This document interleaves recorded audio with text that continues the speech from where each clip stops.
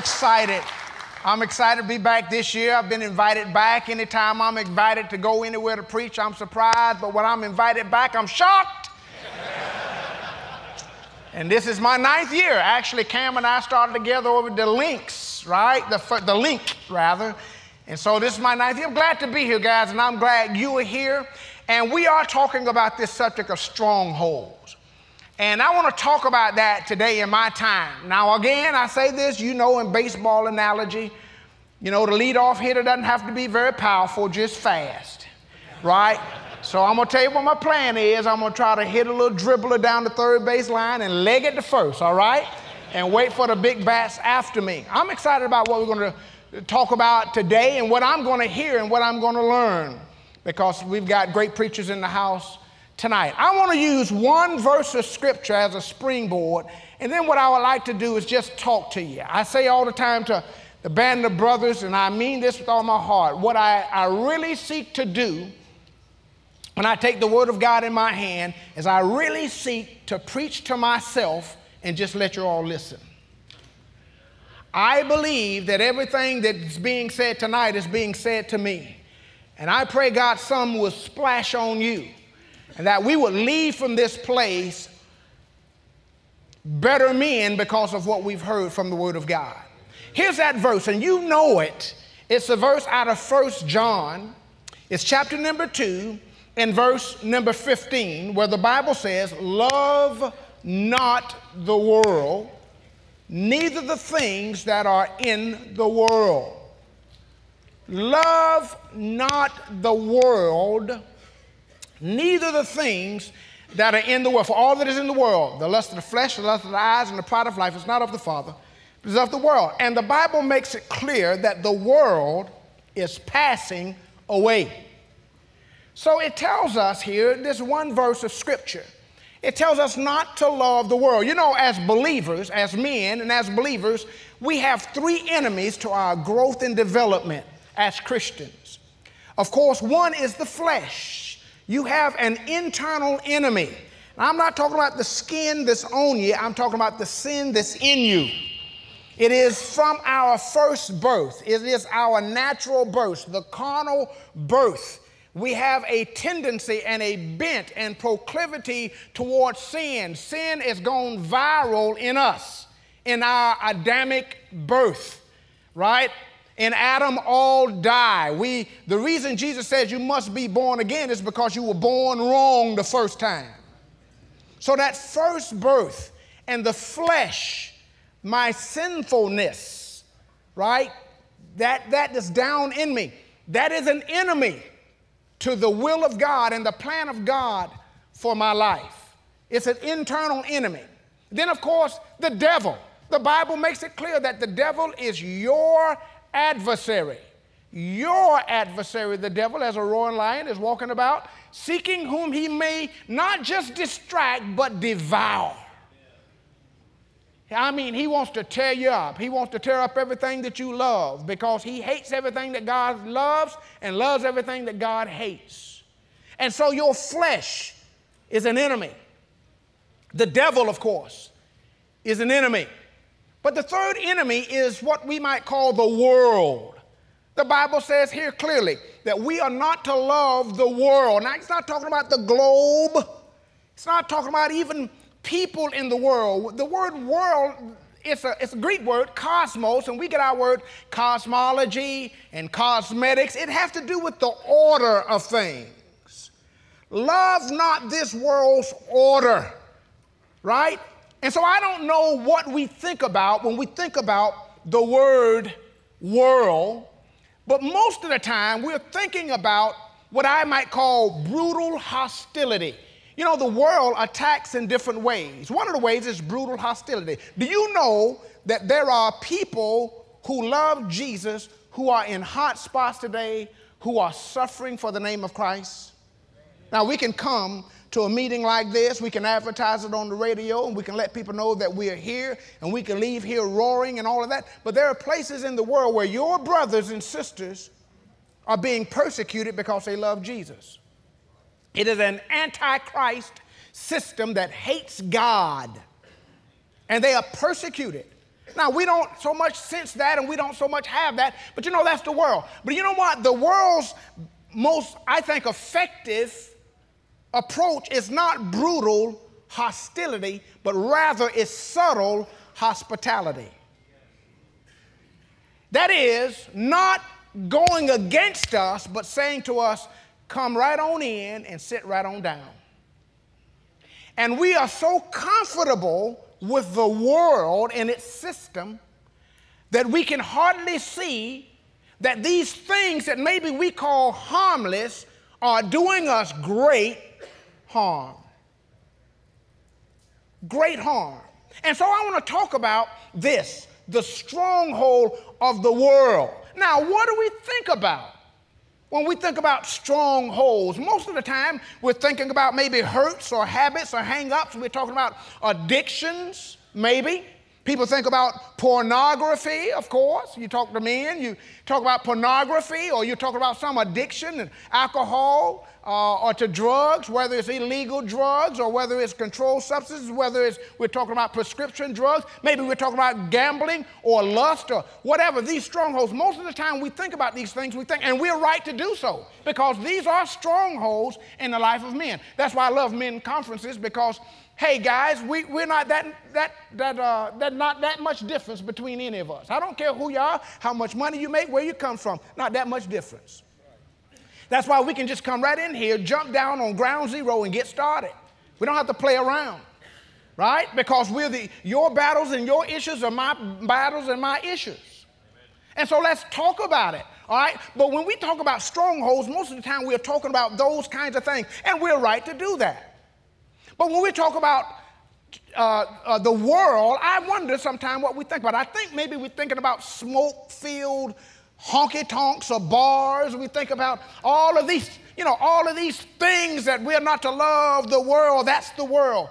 But listen, I want you to consider this with me today. When we say love not the world, we could very easily substitute the word world for the word, for the word culture. Love not the culture. Now, let's just talk about it today because in this place, right here in this place, there are not just one or two cultures, there are many cultures in this place today. There's some general ones, there's some very specific. For instance, there's racial culture. We have different racial cultures in this place. Now, can we just be honest? Hey, nobody here but us, so men, let's talk. Right? Can we be honest to say that, generally speaking, we can find in the world that black people act one way and white people act another way? You don't have to say amen, it's true. I brought my own amen with me. Now, listen, I'm, I'm going right at this racial thing because we got to talk about it. When are we going to talk about it? Right, right now. So, watch. Black people act a certain way. We got a culture. White people have a culture. Right? So, we have racial culture in this place, and no sense in denying it. Right? And hey, it's okay. Sometimes I hear people say, you know, I'm, I'm, I'm colorblind. You lying. you not cutting. You ain't gonna tell me you don't know I'm a black man up here tonight. I'm black and been black for 58 years. And nobody taught me how to be black. And that's all right. And I know you're white. I'm not, I'm not colorblind any more than I'm gender blind. I know the difference between a man and a woman. So it is what it is. There are racial cultures, there are geographical cultures. You know, people pretty much from one side of the Mason Dixon line act different than people down here in the good old South, God's country, right?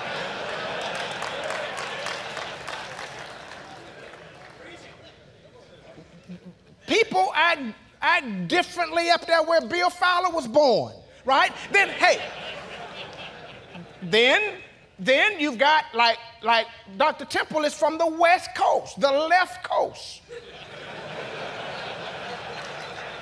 Uh, I mean, come on, guys. So there is their culture. There's that Western culture. Hey, th- these are all cultures here. Hey, can we just go and be honest? They're gender cultures.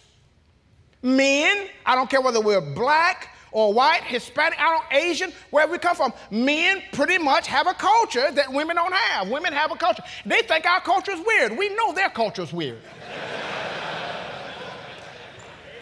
They, they, do weird stuff. You ever go out on a double date or a triple date sometime and you sit there and all the women get up and go to the restroom together? That will never happen with men. It ain't happening. Hey, bro, I'm going to go to the restroom. Yeah, me too, dog. Yeah, that's what's up. that ain't happening.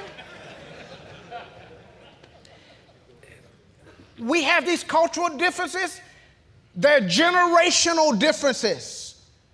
People above a certain age kind of like act the same, and people you know, who are younger act. I mean, that's just the way the world is, and there's culture. But now, here's my point is this we love our culture. We love, and this, listen, I'm not talking about maybe bad, bad, bad things. I'm talking about maybe harmless things that have the potential to do us great harm because they keep us from hearing a clear word from God. I listen to things through the filter of my culture. Do you know that you don't really see the world as it is? You see the world as you are. And the way you are comes from the culture. Now, the culture may not in itself be bad, it may be innocuous, it may be what I might call harmless, but we all come, if you know the name of Christ and you are all called out of the world, we come to Christ and we come, watch this, bringing our culture. It's like, it's like, uh, and it goes down deep into us. It's like if you've been around a, a, campfire, a bonfire, or a barbecue, and you leave that place and you go somewhere, you smell like smoke. It's in every fiber. You don't, in fact, you cannot even know that you smell it so much, but everybody you come in contact with know you reek of it. Right? You're reeking of it. If a, a smoker, you may not know you smell like smoke, but people you come in contact with know you're a smoker because it's in your hair, it's in the fiber of your clothes, and you don't so much think about it, but it's real. So now watch this. As Christian men, we come to Christ, but we come with the smell, the taste, the mindset of our culture. And I'm not saying that our culture may be a bad thing, but I'm telling you, many times our culture keeps us from hearing what God has to say to us. And we will end up, if we're not careful, with a cultural worldview rather than a Christian worldview. So let's think about that. We have our American culture, right? And then out of that, we come all different slices of Americana, things that are good, I mean, wonderful in and of themselves. But you know what the Bible says in Proverbs 23 23? I love this verse. You might mark this down. It's a great verse in the Word of God. It says, gentlemen, it says, buy the truth and do not sell it. Buy the truth and do not sell it. Now, I'm going to tell you, that's a great verse because it lets us know that the truth costs you something. You understand what I'm saying? The truth is not cheap, the truth is, is costly. You have to buy it. Now you can't you you can't buy truth with money. You can buy education with money. You can buy a, a, diploma with money. You can buy information with money. You know, you got good Google search. You can buy a lot of things with money. You can't buy truth with money. Well, the, the question then becomes what do you buy the truth with? Maybe I've said this to you before, but let me tell you what you have to buy the truth with. You have to buy the truth with your lie. You know what buying something is. You, you, it's an exchange of commodities. If you need gasoline, you go to the store, you've got $50 in your pocket? Well, your car does not run off of $50 bills. It runs off of gasoline. So you are willing to give something of value up in order to get something of more value to you. That's what we do when we go to the store, when we buy milk, when we buy gasoline, when we buy anything. You take something of value, you give it up to get something of value, of greater value to you at that time. Every time you bought something, that's what you've done. And so the Bible says, buy the truth. How do you buy the truth? You buy the truth with your lie. Now, watch this. I know that we have all kinds of lies that have been pressed down into us from our culture. And you will not hear the voice of God. Now, you may be in church and hear His word every Sunday, but you'll never hear His voice. So long as you hold to your cultural lie, you will not be able to hear the truth of God's voice. So the Bible says, buy the truth. That means you've got to be willing to take your valuable lie. It may be a racial lie. It may be a generational lie. It may be a gender lie. It may be whatever it is. And it comes right out of your culture. I know that in this room tonight there are people who hold dear to their hearts things that they have no business believing. But those things are dear to you. This is what my mom and them always said, my dad and them, all this. And, and listen, this is the, the problem with the church today. I understand we're sinners saved by the grace of God, but people come out of their cultures and not willing to unhand those things and let God do a thorough work in us so that He might be glorified. We come with somehow an idea that I have a right to hold on to my position. It's just not true. So the Bible says, buy the truth, I've got to be willing to give up my life. For instance, in our American culture, and I know this is to be true, I listen to the talk today, especially around political seasons. There are people in here who think perhaps got a picture of God in heaven sitting on a throne wrapped in an American flag with a big King James Bible in one hand and the Bill of Rights in the other hand. now, I already know I'm going to be misunderstood. I know there are going to be people here leave here say, well, that brother's not for American freedom and justice and all of that. I am. But how many of y'all know God's not an American? You say, well, what is he then? He's God. How about that? He's the God of the nations, He's the God of the universe. And you can't Americanize God. God's not wrapped in an American flag. Now, hey, I don't leave here. If you leave here saying that brother don't love America, you are lying. The truth ain't in you.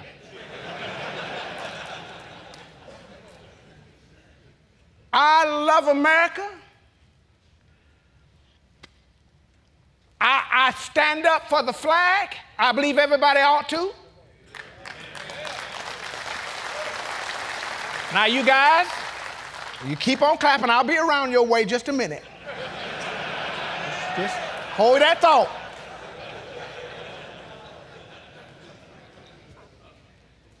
I stand up for the flag.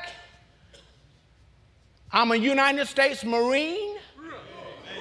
Ooh, raw. I love America. When the flag comes by, I put my hand on the heart. Sometimes I'll salute. And hey, you may think I'm a little hokey, but sometimes I get tears in my eyes. Because I love it. But let me just tell you this now. As Christians, watch this. That's not where the battle lines are drawn, folk. I hear it in Christian circles, man. We are drawing the lines in the wrong place. Like that's got to be the Christian fight. It means being a Christian means being a good patriot. And we're making a lot of noise. And for instance, there are people who take a knee when the anthem uh, is played or when the flag comes by. I personally disagree with that. But let me just tell you this you guys who make a big deal about that, you make a big deal and it's okay, but then you'll come to church and won't even sing.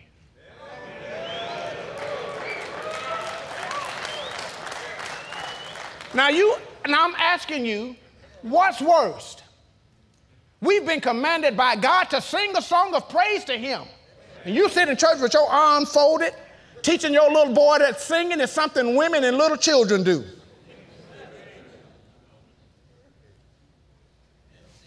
That's worse than taking a knee during the national anthem.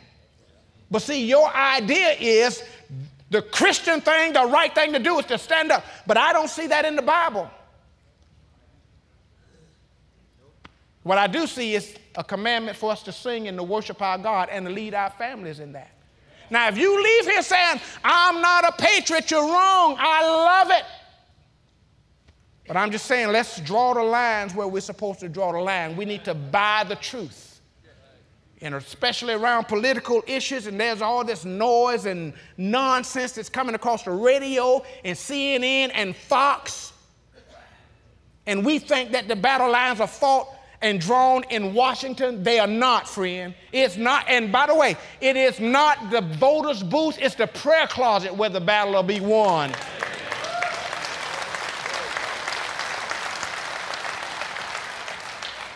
We have to buy the truth. Now, now, guys, I'm gonna tell you, I, I'm for the Second Amendment. I believe in the right to bear arms. In fact, I got me a. It ain't none of your business what I got, but.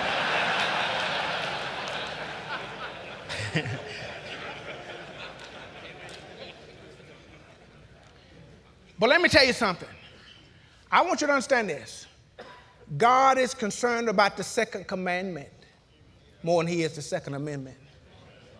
Love your neighbor. Ask yourself. You're going to draw a line, Christian men, draw a line right there. That's what we're commanded to do. Love people. And so, what I hear around this political season is people run into their little corners they make a big deal about things that are important to them, and we think that we're being Christian because everybody around us agree with us. And we don't even realize what God has said. I'll just say this, Brother Cam, I know this is, this is, you may say this is thin ice, and maybe I don't get to come back next year, but I didn't have to come this year. You do know that, right? so, so let me just say this let me just say this. I see this. I see sometimes with black people. We, we, we look through at life through the prism of our culture rather than scripture. It's not just true about black people, it's true about all people. But I'm just saying, I know our people sometimes, we're so angry or mad about what has happened or what we feel like has happened, we can hardly hear what God is saying to us today. We can hardly hear it. Some of y'all saying, well, see that brother getting that. Already, you shut me off.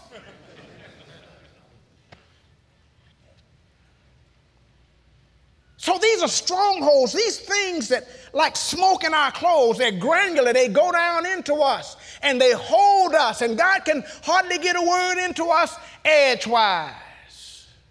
Do you have a Christian worldview or simply a cultural worldview?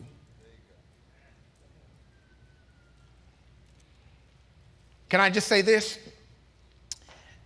That the most sharp and penetrating rebuke I find Jesus giving, Brother Bill, in the Bible was not to the Sadducees or, or the Pharisees, and he gave scathing remarks to them.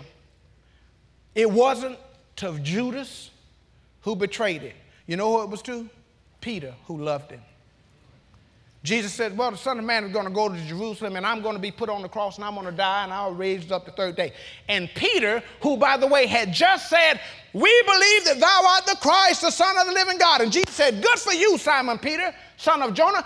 Flesh and blood had not revealed this to you, but my Father. And so Peter was feeling pretty good about himself. He didn't get four verses down the page. Jesus says, I'm going to the cross, and Peter says, Oh, no, you ain't either. Didn't the Bible says took him aside and rebuked him? Didn't you just hear me say you the Messiah? And Jesus said this: Get behind me, Satan. Now we know he was talking not just to Peter, but through Peter to the devil, because watch this. It was the devil doing the thinking, though it was Peter doing the talking. So Jesus spoke to Peter and he spoke through Peter. But he said to Peter, and I know it must have shocked Peter, Get thee behind me, Satan. Why did he say that? Because thou savest the things you hold in high regard, the things that have to do with man rather than God. That comes right out of the culture. You know what Peter couldn't imagine in his mind? That the Messiah would die. Jewish people didn't think that way. So what? The scripture said that. They didn't think that. In John chapter number 12, they came to Jesus. What do you mean the Son of Man going to be lifted up? Who is this Son of Man? We've heard that the, the Messiah, the Christ, abides forever. Who is this Son of Man you're talking about going to be lifted up? If I be lifted up, I'll draw him in. Who is that? We've always believed that the Messiah abides forever. They couldn't see the cross, and God couldn't even convince them that it was going to happen. So Jesus had to rebuke it because of his cultural view of what the Messiah would do, what the Messiah would look like, what would happen. And Jesus rebuked him. And I wonder if the Lord might be saying to us, we are so gripped by things that are important, ideas and notions and concepts that come right from the world and not from God, and God can hardly get a word into us because we have things that we believe and that we love and they are valuable to us and they are in and of themselves don't seem to be uh, you know bad. They're decent they're good things they're harmless but they're doing us great harm. So much so that we can hardly fellowship and appreciate one another because we have our cultural differences that get in the way of genuine love and fellowship that will cause the world to see this is a genuine bunch of jesus lovers so I'll say this to you I don't care whether you're black or whether you're just a South Georgia good old boy. What is it that you holding so close? That God can't speak into your life and the love of Christ be shown in your life. Well, my time is up, but I'm going to tell you a story about the greatest lesson I learned in high school. I want you to pick that picture up, if you will. If you will. See that shoe there? This, the greatest lesson I learned in high school, I learned on graduation night of my high school.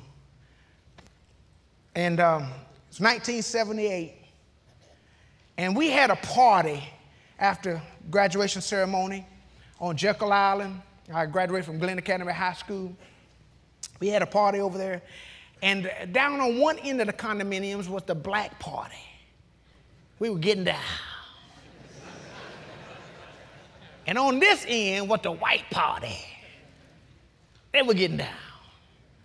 We had that music playing. We were playing the Ohio Player roller coaster and fire. Don't get me started. We had it turned all the way up. And they were down there playing Peter Frampton, Do You Feel Like I Do? Anybody 1978, that crowd down here? They were cranking it up down there. And we had our parties. Well, after night got on, and I can tell you, we were feeling pretty good, for, for you know. And uh, the parties began to kind of merge. And before long, there was this guy from the white party came down to our black party. He's in there in the middle of the floor, and some of us, we were laying around there in the, in the place, probably 12 of us. And old Chuck was, I ain't gonna say his last name because he might be here. but Chuck was in the middle of the floor, really just acting a fool. And we were laughing at Chuck and laughing with Chuck and all that.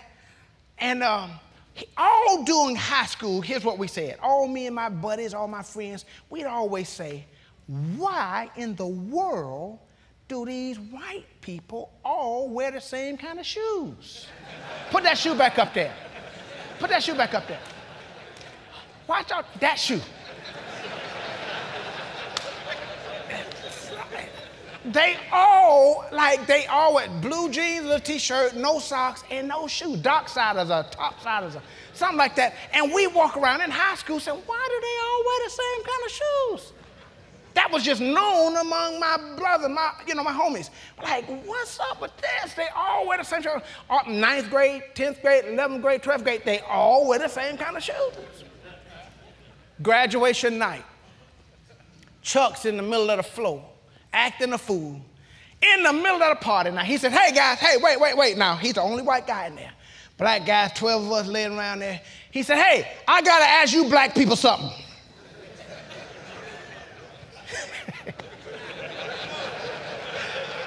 We were interested in what he had to say.